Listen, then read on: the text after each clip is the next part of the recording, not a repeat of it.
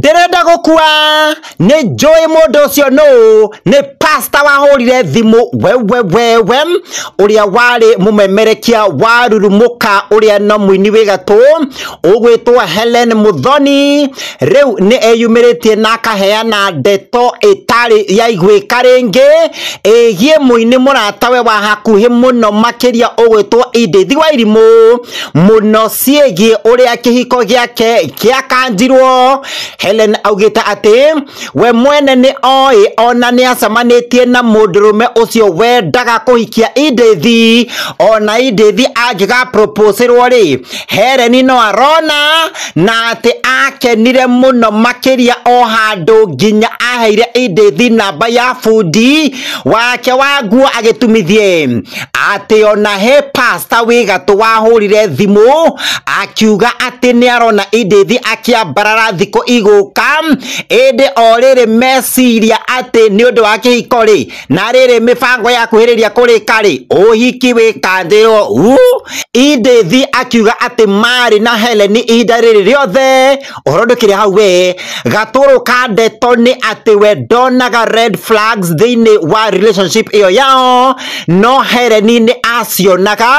Hau niho indi thi athinikanire nginya akiambia kwira mami wao ati ni araigua ta tarĩkĩtie wĩra wake thĩ arenda gũkua. Ĩndĩ akauga atĩ Heleni nĩwe wamũtirithirie mĩeri ĩyo ikũmi akiuga atĩ mũico mũico aumanire na kwĩrekera we mwene na andũ angĩ othe nake Helen akauga atĩ arahoera Edith agĩe na ũũgĩ wa gũkũrana rĩtana rĩrĩa rĩ mbere yake. Woi iyo nä credit wa nina. Tatiga. Rä u å kä enda kå gå ra credit ya safaricom airtel kana telcom tå rahå thä ra mpesa hau haripa na mpesa paybill rä å kamiminda business number ya 378 378 akaunti å gekä ra namba yaku ya thimå amaunti å gekä ra må igana wa credit ä rä a å renda kå gå ra wekä ra pin yaku rä ũga confirm ati uragura kuma gwa Tubonge Plus.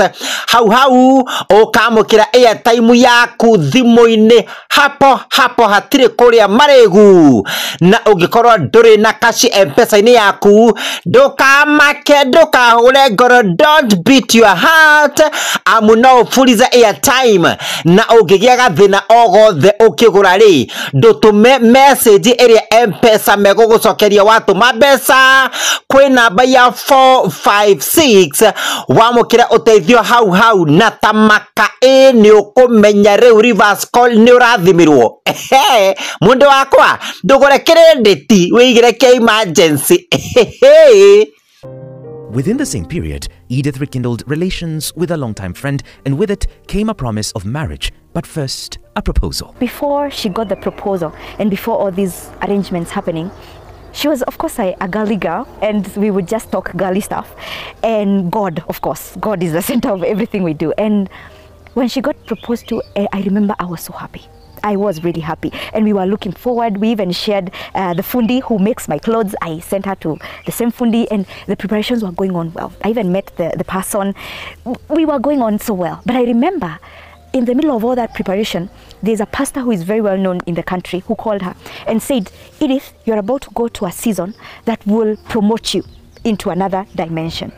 And she told me, and we were like, nah, of course it's marriage. So we were praising God, we were happy, and we came for all the processes until almost the very end. At the very end, the wedding was cancelled, and Edith went through a period of isolation that threatened to dim her shine. I felt like I went through a, a season of grief because the loss of anything would take you through a season of grief. And so there was denial. And there was uh, the moment where now you kind of just release yourself and you're crying, you're beating yourself. There was the place of, um, you know, um, inflicting pain on myself, that, that period of, of pain. Um, there was also a period of, you know, feeling ashamed about um, a lot of things that had happened in my life. But then the good thing about going through that season when you're in a season of isolation is that God allows you to go through that without the interference of external environments. So basically, I went through it all. Helen was persistent in the friendship despite efforts by Edith to shun her and became part of a critical support system in that period. She pushed me to the limit of opening up my life to her to those levels. I needed somebody to cry with. I needed somebody to um, to help me be angry. Sometimes you just require somebody to be angry for you. You know, you just can you imagine? And this person is honestly angry, and that helps you. So Helen was that for me. She would come to my house, and we would spend nights, sometimes crying. You know, so she she helped me cry. Yeah, and um, and we'd pray, we'd pray, we'd cry. Um, um,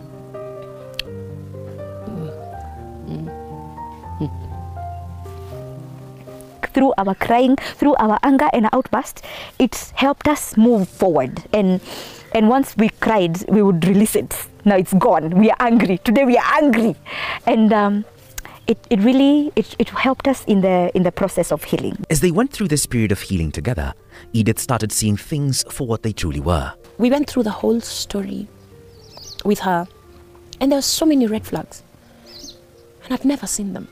I was blind to them, probably because I was skewed. I'd wanted it to work, but while we were going through it with her, it was clear that what had happened, though painful, was God's best will for me and for my life. Um, I think also just getting back on track in ministry. Just understanding that, you know, your assignment is still not done. Because I remember in, at my lowest, I looked at my mom and I told her, Mom, I'm done. I think my assignment on earth is done. Mm. And I told her, Mom, I just told her those four words. I told her, I want to die. With such thoughts lingering in her mind, Edith had to come to a point of forgiveness, and this was not easy.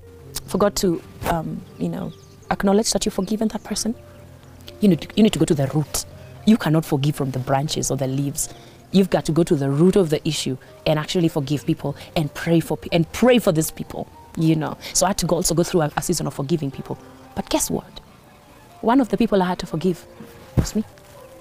I had to go back and I had to forgive myself for things I had done to hurt myself and for decisions that I had made that I had hurt. And I had to, now, during that period of healing, was when I had to ask God, Lord, now heal me.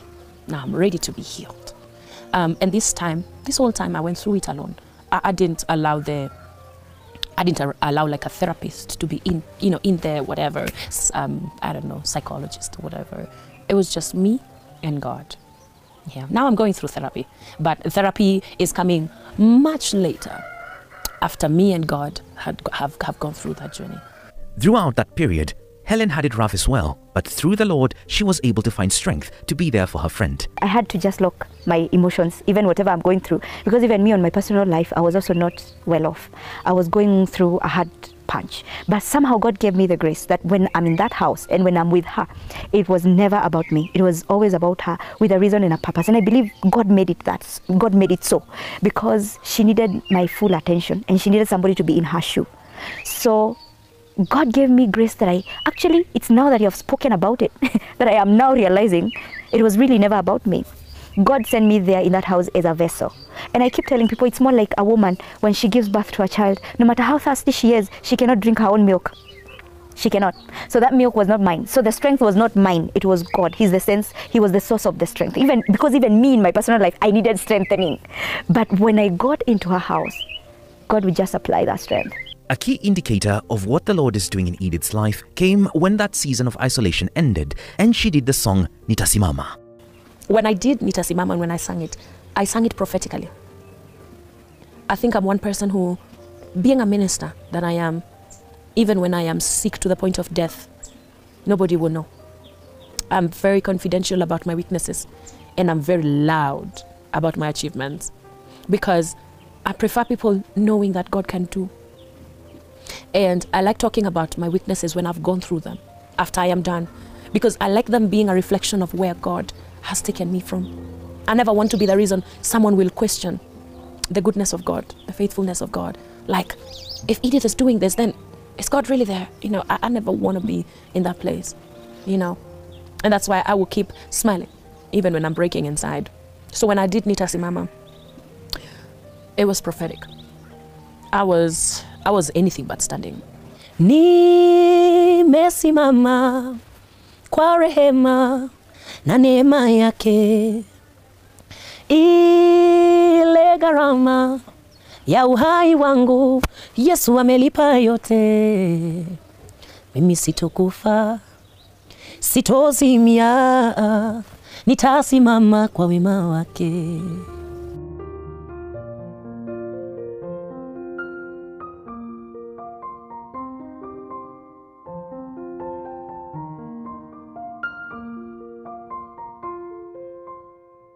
Now knowing where the song was birthed from and seeing how people accepted it and loved it, I could just see God through it. And also I saw her being affirmed by God that I told you, I am with you. I will never leave you and not forsake you. Even the songs that she has done even after that, they're still circulating and healing so many broken wounds. And so many testimonies are coming out of that particular song and so many others it's God. It can only be God. And, and so it just teaches me as a person that if you don't have anything else and you just have God, you're good to go, my friend. As Edith continues in her quest to stand again, her friend Helen acknowledges that God is yet to do far greater and bigger things. There are aspects of my life which I wouldn't necessarily say I'm still standing. And um, especially with regard to um, being able to be as sociable again, um, relating to people, especially to that place of now leading to um, marriage and, and that kind of thing. I think what I've gone through, I still now need, um, and that's what I've told you. I, I found wisdom in, in going through therapy because now I think it's that place of my heart where now that that part of me needs to reconcile, and I think that one has has a journey. I'm praying for her above everything else, wisdom. Because there's no doubt there's a calling over her life and a big one, bigger than even maybe she can realize. So she needs wisdom, divine wisdom from God to walk this journey because maybe she'll get to a place that I cannot answer her question. She has outgrown me, which I would totally love. And as of now, I can clearly say she's not the baby I used to feel like I want to protect. She's a grown woman in her own rights. And as she makes, because I know she'll even have international collabos, I'm speaking in prophetic now. I pray that God will always give her wisdom. Because if she prospers and if she does well, it's a win for the kingdom. And that is why we are here. ngĩribotera ceceni ya mũceneneko kuma haha thĩinĩ wa youtube gikuria na gitio tukia wa gũsubscribe gũshare na gũcomment kenda wa video ino na ndukariganirwo ni gũtũrũmĩrĩra thĩinĩ wa tiktok na facebook mũceneneko niĩ 我为他做。